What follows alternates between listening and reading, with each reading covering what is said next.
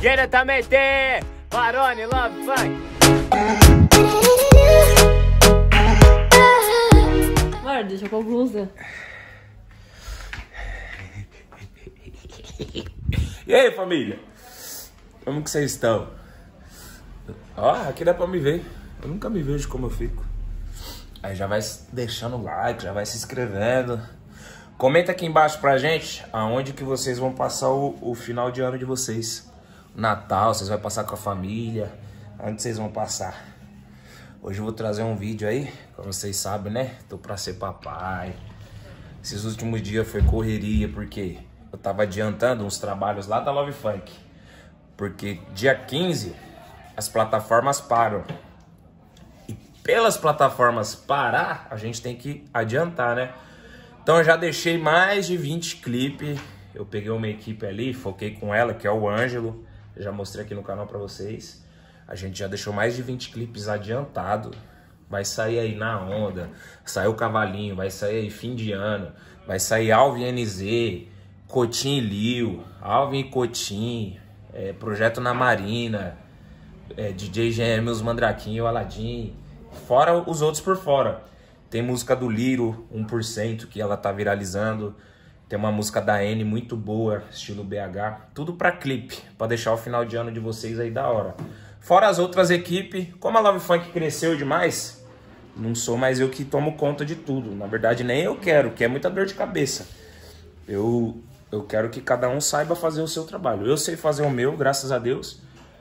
E aí, só para explicar para vocês o porquê que às vezes a gente traz um, uns conteúdos aqui muito rápido ou talvez até repetitivo. Até eu observo isso, mas porque eu que sou a cabeça da parada, né? E se minha cabeça tá só lá, às vezes aqui dá uma. Se minha cabeça tá só aqui, aí eu tenho que aprender a equilibrar isso. Mas ano que vem promete ser melhor. Enfim. Enfim, hoje o conteúdo é somente dessa gatona aqui, ó. Vocês falam que eu não, não demonstro tanto às vezes uma paixão ou um romantismo. Porque eu não sou romântico, né, amor? É, ele não é romântico. Fala aí. Mentira, até que agora ele tá. Tá mais carinhoso que antes. Mas explica. Não, aí. é. Ele é carinhoso, gente. Ele não é romântico, é diferente. Mas por que o povo fala que você não é romântico? Não, tem gente que às vezes pensa por, por eu não trazer em vídeo isso, né? Demonstrar as- aquelas romantismo. Porque, Gente, gente, se ele não me tratasse bem, não fosse um homão, pra mim eu não teria voltado com ele. Aí ele terminou um monte de vezes, eu conheci outras pessoas, ele conheceu. E ele me trata bem. Ele é carinhoso. Mas que nem eu falo, o povo não precisa ficar sabendo. Porque tem um monte de casal que na internet é grudado, recebe isso, recebe aquele de chifre. o que, que eu tenho que melhorar então? Tudo. Tô brincando. Nada, amor, eu te amo do jeito que você é. É porque é muita correria, amor. Eu, antes, gente, eu não entendi. Às vezes ele ficava bravo, eu achava que era tudo culpa minha. Às vezes ele falava alguma coisa, mas ele dava a cabeça em outro lugar, eu falava, ah, pronto, tá descontando em mim. Mas eu já entendo. Quando ele tá meio desconto. estressado. Eu não desconto. Você Não, sabe. não tô falando que você desconta, mas às vezes você Eu tá só- estressado. Aí você fala um pouco mais grosso, mas eu já falei, nem é comigo, eu ignoro. É. Mas, gente, entenda. Eu sempre sonhei que a Gabi também aproveitasse, né? A oportunidade. Porque não é só as crianças, né, amor? Hoje ela já sabe aproveitar muito, muito, muito. Hoje ela é praticamente 100% dedicada ao barraco, à nossa relação, a tudo. Só que tá acontecendo um negócio aqui que eu achei engraçado e meio que falei, eu acho que ela tá precisando da- de mim um pouco também, que ela tá com medo de ser mãe. Ah, amor! Você chorou de madrugada, irmão? Não foi de madrugada. Foi que horas? Foi na hora que você tava jogando videogame. Não, eu choro todo dia. Mas por quê? Porque, amor, é uma vida. Vai E- sair de mim. Mas é normal o tanto de vidas que foi Mas, feita no mundo. Sei lá, eu tenho 21 anos, eu não me sinto preparada. Às vezes eu acho que eu sou muito matura pra ter um filho. Você acha que a pessoa precisa estar preparada pra ser mãe? Acho que ninguém não, nasce porque ninguém nasce preparada. Vai se preparando quando o filho nasce, Tá. mas é uma responsabilidade muito grande. Você não... Você Não, acha que não tá preparada pra ser mãe? não, que nem você falou, preparada ninguém tá, mas dá medo. Mesmo qual, qual medo? Amor, medo, você não tem medo de ser pai, de falhar, de Eu deixar... não. Ah, eu tenho. Tanto é que o meu filho vai nascer no dia 15. Hum. E eu vou comemorar o aniversário dele todo dia 15, que eu tô radiando pra ele nascer dia 15. Quando eu radiei que era menino, Não precisou nem daqueles fogos, porque eu já sabia que era menino. E, gente, pra que dia tá marcado? Dia 22 de dezembro. Dia 15. Quer apostar? Parto normal. Cesárea. Normal. Cê- Tá marcado cesárea, gente. Mas vai nascer dia 15 parto normal. Meu filho vai sair, né, filho? Gente, ele tava mexendo, ele quase saiu ali na banheira. Gente, o médico falou que se ela entrar na banheira quantas vezes? Uma não, vez tipo por dia? assim, não, ficar um bom tempo na banheira já começa a dilatar. Se você entrar todo dia, dia 15 ele nasce tranquilo, sem Ele esforço. pode nascer antes se eu entrar todo dia na banheira. Você vai peidar, ele vai sair. Mas eu acho que vai sair fácil porque eu subo muito escada, eu faço muita coisa. Então, tá com medo do quê? Mas na... Não é o medo do parto, vida. medo de ser Amor, mãe. Você tem noção? Ele vai nascer, ó, Ó, família. Ele tá, deve estar com quantos quilos ele? Eu acho que ele deve estar com uns três. 3 quilos. Ele deve estar do tamanho do meu braço, assim, já. ó. Daqui ó, do antebraço até a mão. Daqui, né? É. Eu acho, porque, ó. Ó, da minha mão inteira, mano. O moleque tá gordão. É normal? 3 quilos? Eu nasci quase cinco. Ah, então ele tá magro. Esse aqui em mim, ó, é um ferro que colocaram pra me puxar. Eu era muito gorda. Não, não tá magro. Eu que era... Tomara que ele continue com uns 3 e pouco, então, né? É, que eu era Que- obesa. Que aí sai normal. Mas vai dar tudo certo. Gente, deixa a mensagem positiva lá no Instagram da Gabi, do meu amorzão. Eu não sou tão romântico, mas eu sou um cara que eu penso no futuro. Porque eu me dedico muito ao trabalho para no futuro eu só me dedicar na família. Tipo, esse é o meu pensamento. né? Eu não sei como outras pessoas vão pensar. Mas eu quero ficar de boa, curtir meu filho. Mas pra isso eu tenho que trabalhar agora muito, muito, muito, para depois ficar de boa. Tá, eu vou chorar.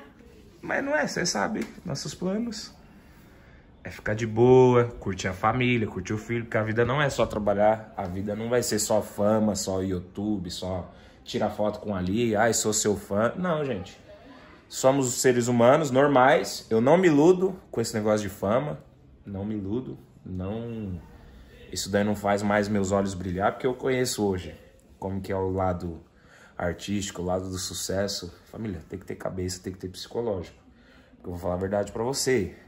90% se vocês conhecessem de artista, né? De cantor, youtuber, não sei o que, vocês tudo ia se decepcionar. Essa é a verdade. Doa quem doer. É minha opinião, né? Cada um com a sua. Mas se vocês conhecessem o lado, né? O lado. Como que fala? O lado business. Que isso, business? Business é o lado do sucesso lá, o artista. Porque vamos supor, ó, passou ali, ó, vamos supor, uma van cheia de criança que é fã de um monte de gente. Um é fã de fulano, um fã de ciclano. Mas se ela conhecesse a pessoa, A realidade. ela ia se decepcionar. Porque somos todos seres humanos iguais.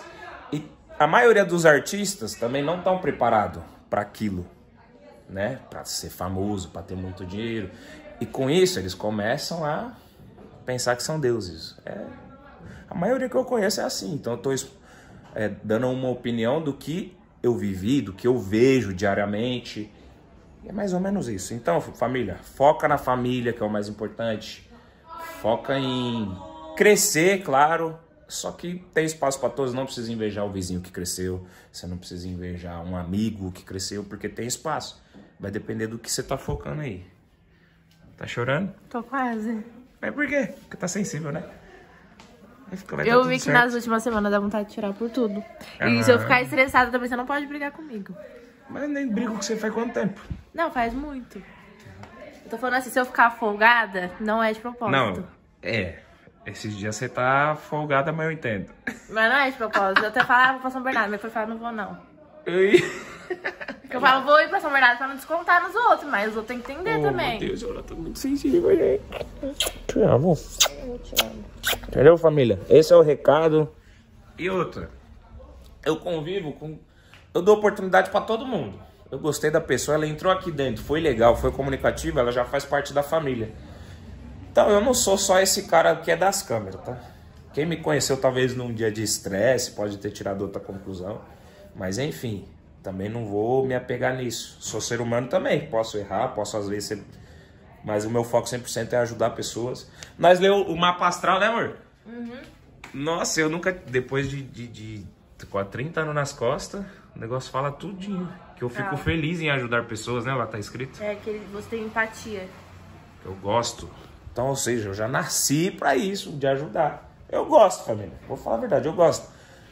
Eu, eu vou dar um exemplo dos mandraquinhos. Não jogando na cara porque são tudo crianças, mas vamos supor, ajudei todo mundo. E todos, eu acho todos. Quase todos.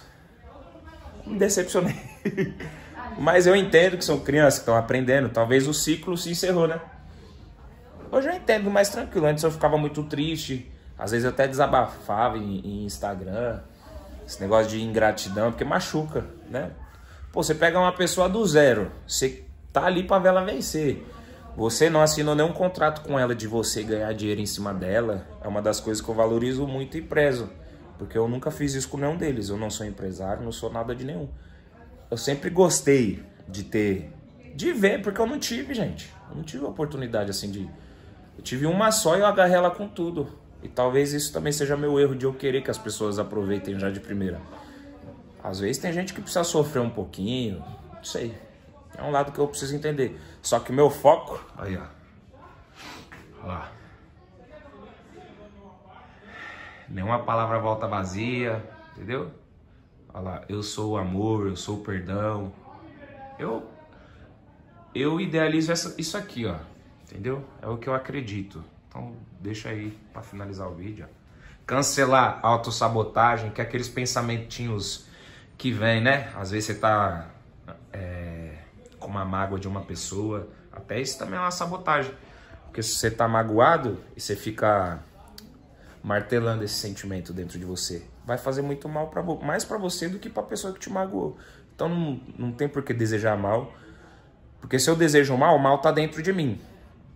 Na verdade, o mal tá dentro de todas as pessoas, mas é uma escolha fazer o mal, ser mal. É uma escolha. Ser bom é uma escolha. Pensar positivo é uma escolha, pensar negativo é uma escolha. Entendeu? Então é, é isso que eu acredito. O Criador é maior que a criação. Ó. Quem é o nosso Criador? O único que criou tudo? Deus. Nós somos criação e parte dele. Então também somos criadores. Uma palavra volta vazia. Imaginação é Deus em ação. Então cuidado com o que você pensa. Esse 17 segundos aqui de foco ó, consagra. Se você pôr sentimento em 17 segundos num sonho, na positividade, no amor, você pode ter certeza que isso aqui já vai te fazer uma pessoa melhor. O universo é mental. É o que eu acredito, tá? Eu não acredito nisso aqui que é fora, eu acredito no que é dentro. É, todos vivem em estados, que nem eu falei, ó. Vou dar o exemplo dos mandraquinhos de novo. Eles estão num, num estado, é ciclo. Eles estão num estado do que? De aprendizagem, né? Um dia talvez eles lembrem, pô, mano, o cara que me deu a mão lá atrás, tenho muita gratidão por esse cara. Talvez se eles sentirem um estado emocional. Ou se eles não tiverem gratidão também, tranquilo, porque a ação tem que vir de mim, né? Se eu escolher ajudar, eu não posso esperar que a pessoa tenha gratidão ou ingratidão. Eu fiz minha parte. Então, acaba por aí. Eu também tô aprendendo, tá, gente? Tenho 29 anos, ainda sou um, um mini aluno do universo. Tenha clareza ao criar. Tipo, você tem que saber o que você quer pra sua vida. Senão, você vai ver, você vai ficar girando assim, ó. Girando, girando, girando, girando, sem saber. Nem Deus vai saber o que te dá, porque nem você sabe o que você quer. É, cadê? Agradeça já é seu. Esse agradeça é você ser grato até por um copo de água. Lembra aquilo lá que é educação? Nossa, que menino educado. Você vai, você entra na casa de uma pessoa, você pede um copo de água, você come uma comida, você agradece. Entendeu? Pra tudo você agra agradece por tudo, irmão. Não reclame, para de reclamar que você vai ver sua vida mudando. Tudo se move, tudo vibra, acreditar é o segredo, enfim. Eu entendo muito isso aqui porque é a minha brisa. Borboletas é porque é renascimento, entendeu? Recomeços. Eu briso nisso. Fechou? Diretamente, Barone Love Funk. Olha quem chegou, tomando de assalto o filme nós louco.